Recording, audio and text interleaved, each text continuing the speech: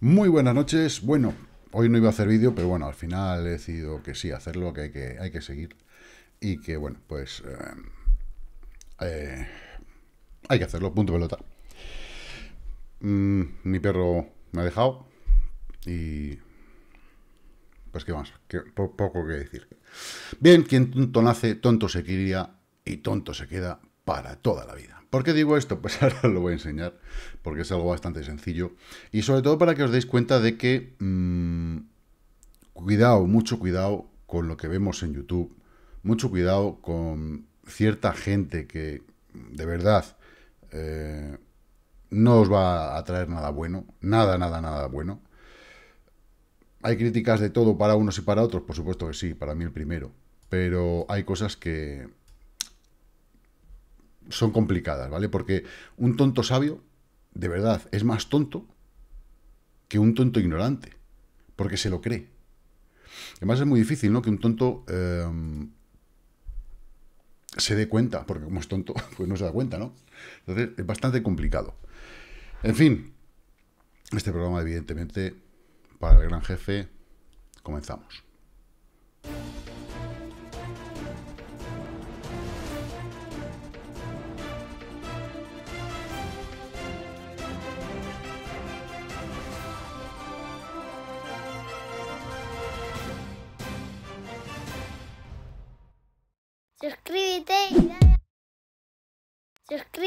Y dale a la campanita. Uy, que me equivoco de botones. Bueno, ¿para ¿a qué me refiero yo con esto de eh, gente a la que seguimos y, bueno, pues, pues eso? Eh, Pablo Gil pues compartía esto, yo sé que hay bastante gente que lo habéis visto, porque lo seguís, y decía, bueno, pues esto, esto es lo que le quita el sueño a muchos analistas técnicos en este momento. ¿Vale? Y bueno, pues habla de esta formación que ocurrió en 2008, eh, no tiene por qué ocurrir ahora, eh, pero alguien que se piensa que sabe mucho, que no tiene puta idea, evidentemente, ya lo sabemos, ¿no? Eh, coge y contesta, señor Bataglia, es eso, ¿vale? Dice, en 2008 no existía la QE. ¿Por qué tanto empeño en hacer dicha comparación? Bueno, en 2008, o sea, no se imprimió dinero.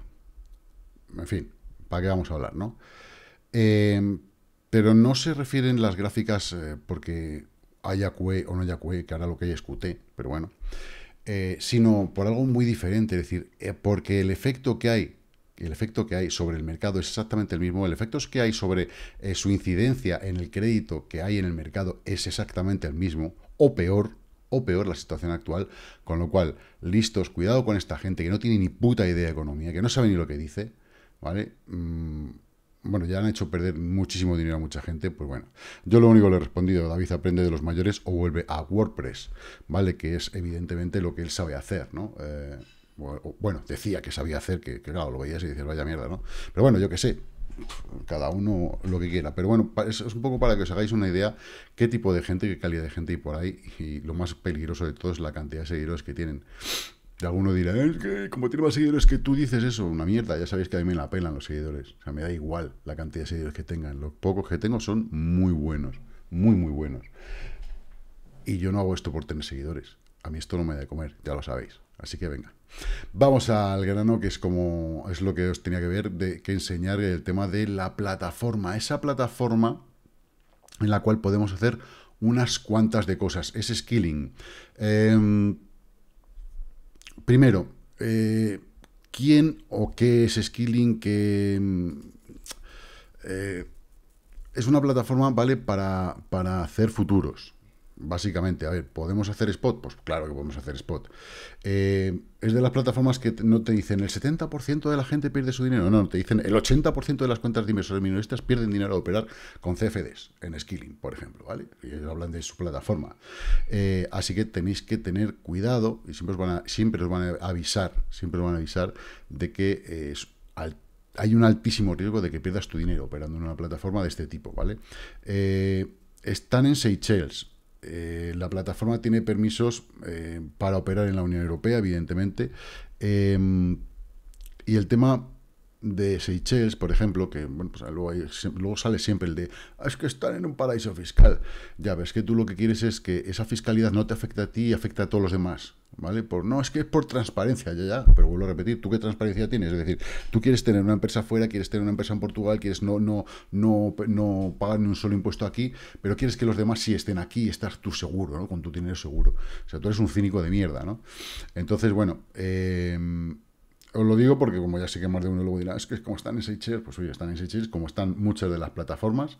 Eh, es 100% escandinava, propiedad 100% escandinava, la mayoría de los brokers que suele haber eh, suelen ser estadounidenses, británicos, chinos, rusos, israelíes hay algunos, ¿vale? También.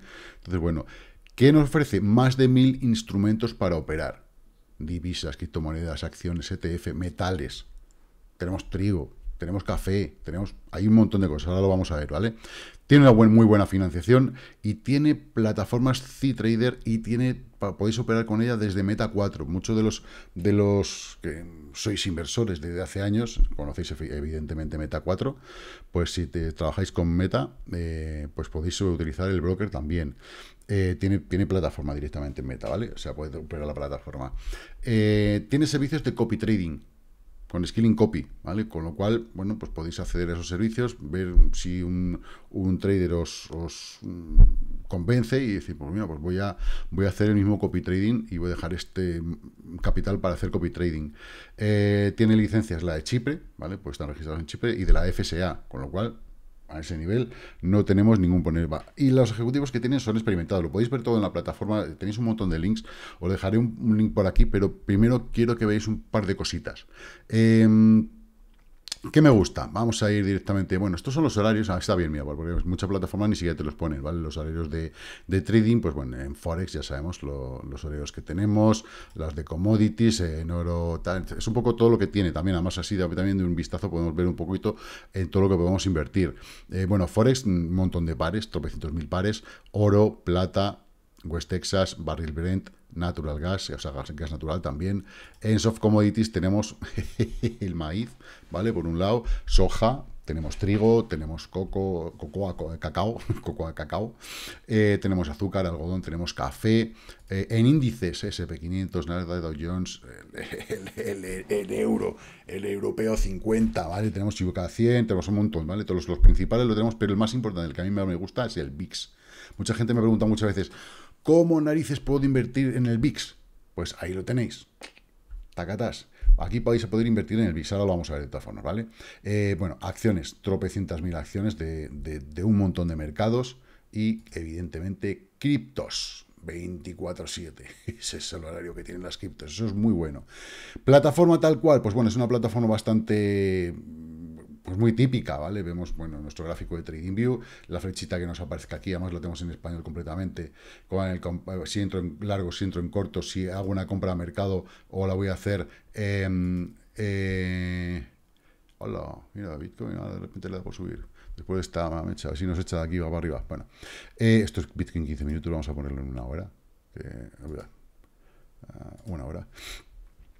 Eh, en definitiva, eh, es una plataforma muy sencilla de utilizar, no tiene ningún misterio, o sea, no hay, cosas raras. Pero si yo me voy aquí, por ejemplo, a la flechita de la búsqueda, veo que en Forex tengo 73 pares, en índices tengo 20 pares, me puedo ir a los europeos, a los de Asia Pacífico y a los estadounidenses, me interesa mucho el VIX, ¿vale? El índice de volatilidad. Eh, que bueno, pues ha habido mucha gente y me ha preguntado, ¿y cómo narices puedo invertir en él? Pues mirar, desde 5 pavetes 5 dólares puedo invertir. Aquí siempre te va a poner el mínimo. Si, si yo, bueno, en este caso sí podemos meter más. Si nos movemos a Forex, nos van a pedir eh, mil dólares, eh, depende un poquito, ¿vale? Eh, nos podemos ir, a ver, aquí no, actividad no, aquí. nos podemos ir a materias primas, ¿vale? Dentro de la soft, bueno, este, el, café, el azúcar, el algodón, el maíz, el, trigo, la soya viene la soja y el cacao. Tenemos en metales oro, plata, palladium y platino. ¿Vale? El paladio importante. Y en energía tenemos tanto el barril West Texas como el Brent y gas natural. Podemos invertir en cualquiera de ellos. Me parece que en 14 materias primas está muy, pero que muy, muy bien. 757 acciones, 56 criptomonedas. Em, cada semana suelen ir metiendo más, más acciones, más valores, ¿no? Y además eh, suelen hacer promociones. Te llega a tu email. Pues, a mí me llegó el otro día una, eh, como era, en, eh, invirtiendo en el par euro-dólar, te salían las tasas a cero. O sea, no pagabas, no pagas nada tasa, ni tasa de, mercado, ni de compra ni de venta. otra vez salió en, unas acciones que estaban muy, muy, muy a tope. Entonces, bueno, en Forex pues ha habido gente que me ha dicho, ¿puedo invertir en pares del rublo? Pues sí, sí, sí. Si nos veníamos a ver destacados, estamos por aquí. Así, así me lo, a ver si me lo carga. Em, porque había cosas, es que, es que había, había cosas eh, geniales, Mejores ganadoras. Mirar, euro rublo, por ejemplo, ¿vale? Eh, dólar rublo.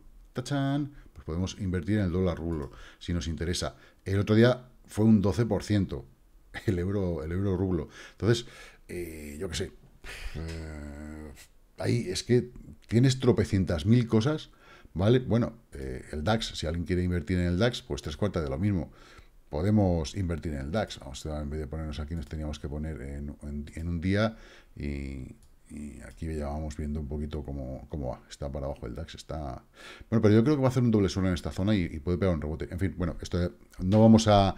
De momento no vamos a hacer no vamos a hacer análisis sobre la plataforma, ¿vale? Simplemente que la conozcáis. En estos días iré, viendo cosas porque voy a ir a hacer entradas. Sí que tenemos la opción de entrar en una cuenta demo. Y ahora mismo veis que estoy en una cuenta demo. Tienes una cuenta demo de 10.000 dólares con la cual tú también puedes ponerte a prueba. Yo siempre lo digo, un deportista, ¿por qué gana los partidos el domingo? porque durante la semana ha entrenado, a lo largo se tira toda la vida entrenando, ¿vale? Un atleta cuando llega a las Olimpiadas eh, se ha tirado entrenando cuatro años para, esa, para una carrera, o para un lanzamiento de jabalina, o para, para un salto.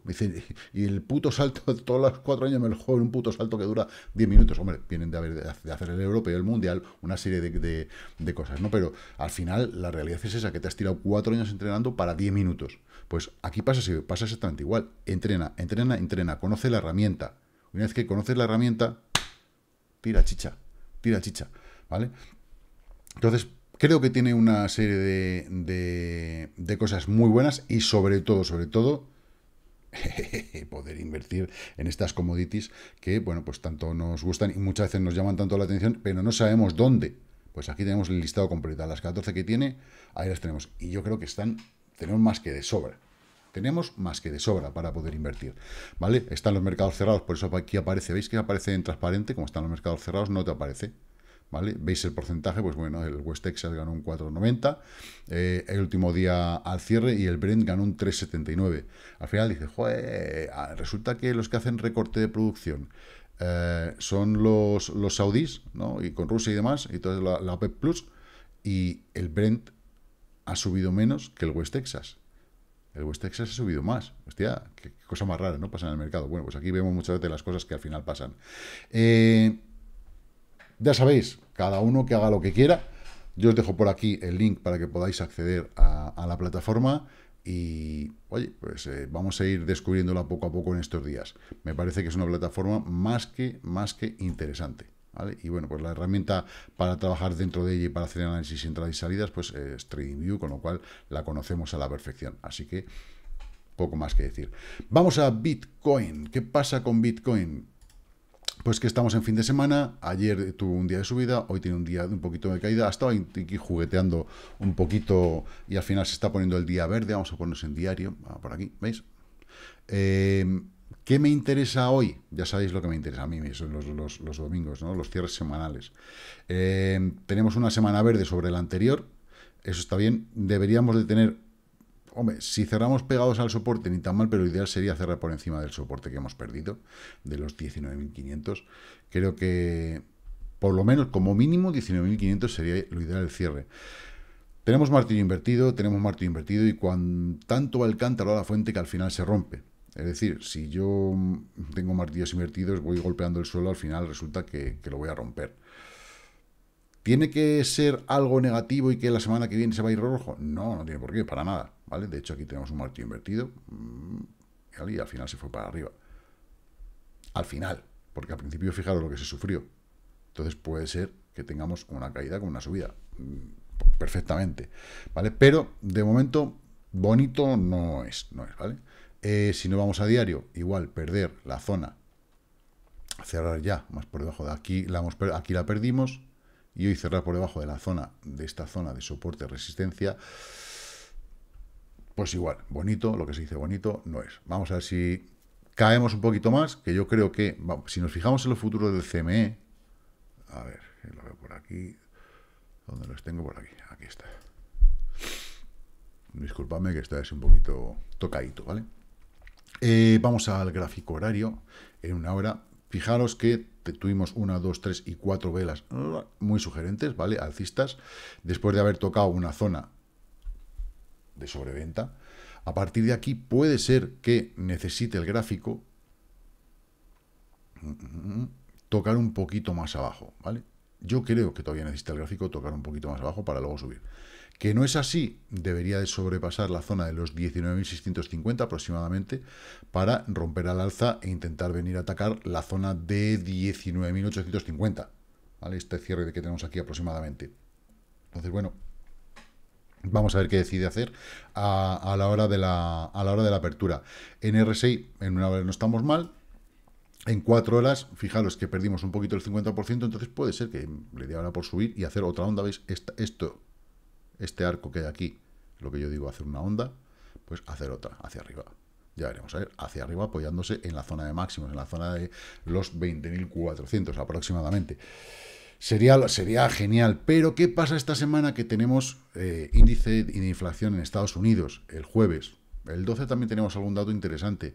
Entonces, mmm, estamos muy atentos porque la semana puede tener bastante, bastante volatilidad. Estamos ante semanas muy complicadas. Eh, la reunión que hay de todos los bancos centrales, eh, otra vez eh, se van a ver en el Fondo Monetario Internacional.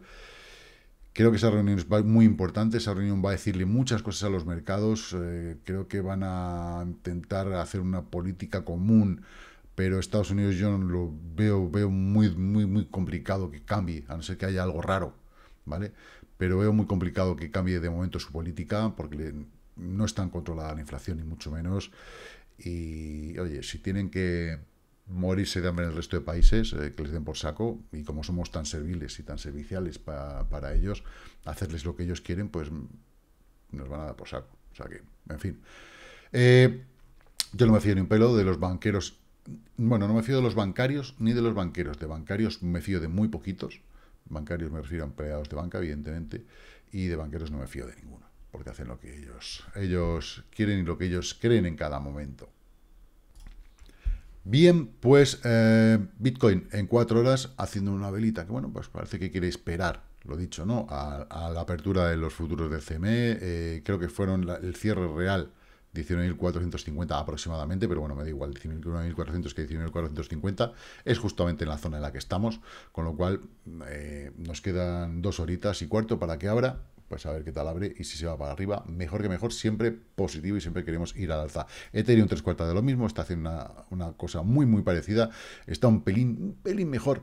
Ah, por cierto, y en Bitcoin, eh, esta, ¿ves? Tenemos 1, 2 y 3, si esta vela cierra abrazando a estos tres, ya sabemos que tenemos los tres soldaditos, y sería una, eh, figura de continuación bajista. ¿Tiene que ser instantáneo? No, es decir, podría luego hacer otra, otra, otra, otra, otra tirada al alza y luego caer. ¿Vale? Pero ya sabéis que la figura de los tres soldaditos sí abraza a los tres, eh, es una figura de continuación bajista. Uh, Ethereum ya lo hemos visto, el total market, bueno, pues eh, no está mal. ¿Esto qué quiere decir? Que a pesar de que Bitcoin está ahí, ahí, ¿vale? Ethereum está un poquito mejor, está entrando dinero, ¿vale? En el total market. Y la dominancia de Bitcoin cayendo. Ya dijimos, o bueno, ya dije yo que creo que tiene que venir a esta línea moradita, a esa zona, ¿vale? Y a partir de ahí, pues intentar volver a coger otro impulso para subir. Eh, domingo, oro, orete, nada, patojete. Y Cardano, pues paradito, paradito. El resto de las altcoins, bueno, pues tenemos pérdidas en algunas, 26% en Library, Gates, eh, Cartes, y bueno, aquí tenemos varias que, pero es poquita la pérdida. Y en el lado positivo, los cortos de Bitcoin están subiendo. Yo no digo nada, que luego todo se sabe, ¿vale? Em, están subiendo desde un punto que para hacer que parece que quieren hacer un mínimo eh, superior al mínimo anterior, tiene pinta. Pero claro, es sábado y esto es domingo. Entonces vamos a ver qué narices pasa mañana. ¿Vale? Si mañana siguen al alza, porque haya noticias por, por, la razón que sea, pues tenemos que empezar a preparar eh, iba el culo, el bolsillo, porque bueno, puede pasar de todo. Y ahora voy a decir algo que no, suele, que no os va a decir nadie. Eh, yo, por ejemplo, pues con la situación emocional que tengo, he cerrado todas las operaciones que tenía abiertas. Me faltan algunas operaciones por cerrar porque no puedo cerrarlas, pero en el momento que lleve a un, punto de break-even, cojo y las cierro. ¿Por qué? Porque en estas circunstancias no hay que operar. Si tú tienes tu cabeza, eh, pues tienes un disgusto, pues como puedo tener yo ahora, o tienes una preocupación, o tienes algo que te ha pasado, es mejor no tocar nada. Eh, las que no he cerrado es porque no puedo cerrarlas, no debo no cerrarlas, sería una tontería cerrarlas. Y si puedo ir a un punto de break-even, pero en el momento que se, quede a cero, cojo, cierro y punto pelota. Tenía algunas operaciones en beneficios que las he cerrado pudiendo coger más beneficios. Pero, ¿por qué? Porque en una situación psicológica adversa puedo tomar decisiones muy malas, muy, muy malas. Entonces creo que es mejor, creo que es mejor. Así que eh, poco más que añadir, chicos. Eh, está el mercado, bueno, pues de domingo, quedando a la espera de cómo abren el resto de mercados. Y bueno, vamos a ver si Bitcoin quiere, quiere hacer alguna jugadita. ¿vale? Ya hemos visto que, bueno, pues eh, el, domingo pasado pasó algo parecido, ¿vale? Un poquito antes de la, del, de la apertura de los futuros, bueno, pues hizo una vela de este tipo y al final, bueno, pues eh, hemos tenido una semana bastante complicada. Así que bueno, vamos a ver cómo hable y en función de eso mañana haremos un análisis y veremos qué pasa de aquí al jueves con tener, cuidado a partir del miércoles, ¿vale? Con el tema de la inflación, porque parece que la subyacente va a ser un poquito negativa. Se espera más que sea negativa y eso va a hacer que los mercados vayan para abajo. Así que no os cuento nada más. Chicos y chicas, lo que digo siempre invertir con mucha cautela y que la paciencia os acompañe. Chao, chao.